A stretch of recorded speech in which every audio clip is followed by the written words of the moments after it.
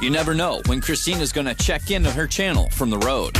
Julia from Peru wants to know how I feel about the nickname LegendTina. Well, first of all, I am flattered. Um, someone brought this to my intent, uh, my attention uh, uh, a couple months ago. I was working with a songwriter for the new record, and he told me that uh, there were fans online that were um, calling me that. And uh, hey, I think it's a great nickname, and uh, I will not disappoint.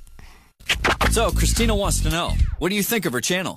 Email her now, Christina at aperadio.com. That's Christina at aperadio.com. And let Christina know what you like and what you don't.